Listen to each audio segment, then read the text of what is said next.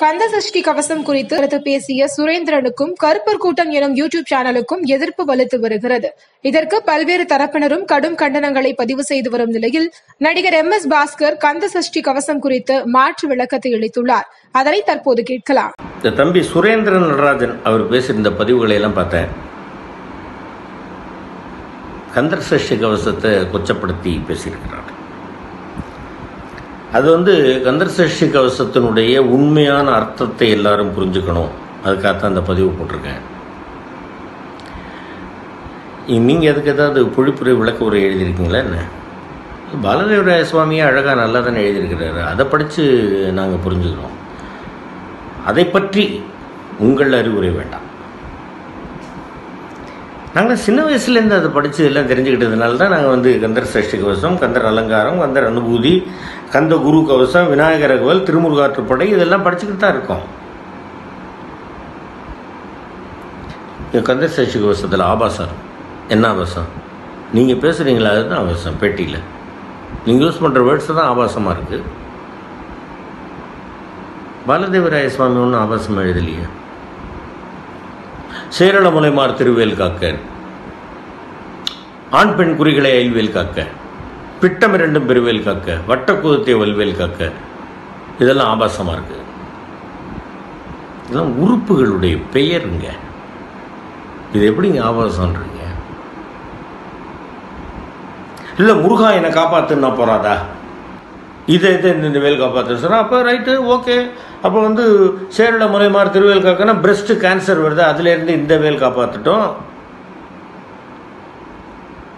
பிட்டம் ரெண்டும் பிரிவில் காக்கனா save my buttocks அப்படின்னு இங்கிலீஷில் அர்த்தம். முருகனை கேவலப்படுத்துறீங்க. வட்ட குதத்தை அப்படின்னாக்கா அந்த மலம் போகுது இல்லையா? அந்த துவாரம்.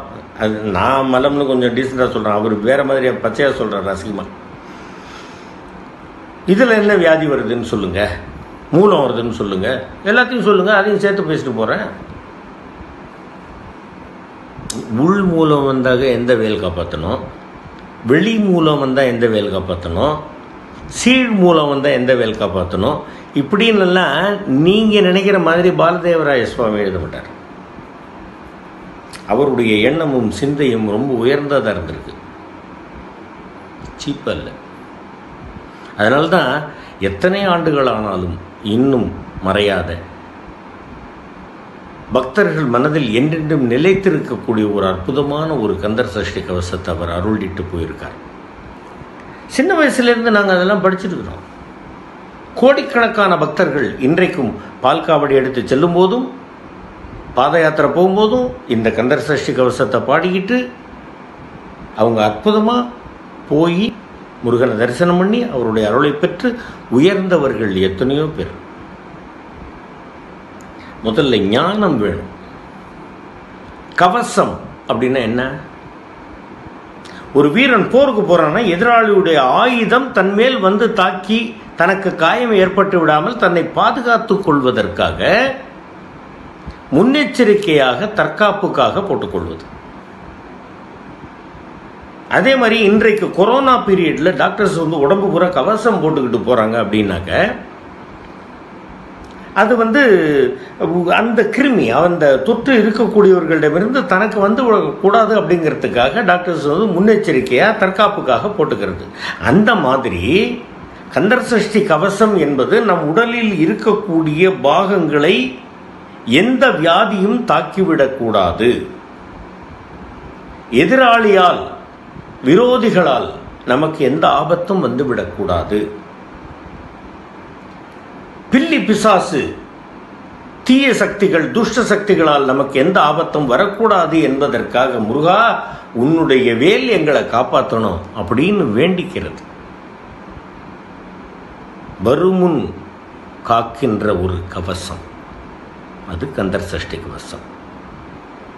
இதெல்லாம் இல்லாமல் நீங்கள் பாட்டுக்கு என்னமோ இஷ்டத்துக்கு வாயில் வந்தது பேசிக்கிட்டு இருக்கிறீங்க.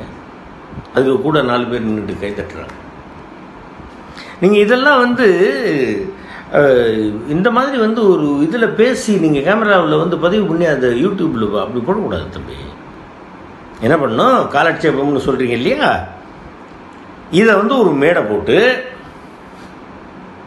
கந்தர் சஷ்டி ஆடிக்கிருத்திகை சூரசம்ஹாரம் தைப்பூசம் இந்த மாதிரி முருகனுடைய முக்கியமான விசேஷ நாட்களில் கோயில்கிட்ட ஒரு மேடை போட்டு அங்கே வரக்கூடிய கோடிக்கணக்கான பக்தர்கள்ட்ட போய் நீங்கள் இந்த விஷயத்தை நேரடியாக சொல்லணும். சொன்னீங்கன்னா இப்போ என்ன நடக்குதுன்னு பார்க்கலாம். செய்வீங்களா? செய்ய மாட்டீங்க. யாராவது கூட நாலு பேர் கைத்தட்டினா ஏதாவது ஒன்று பேசி சீப் பப்ளிசிட்டி தேடிக்கிறது இது எங்களை போன்ற பக்தர்களின் மனசை புண்படுத்துது அப்படின்றது உங்களுக்கு தெரியுதா தெரியலையான்றது எனக்கு தெரியல.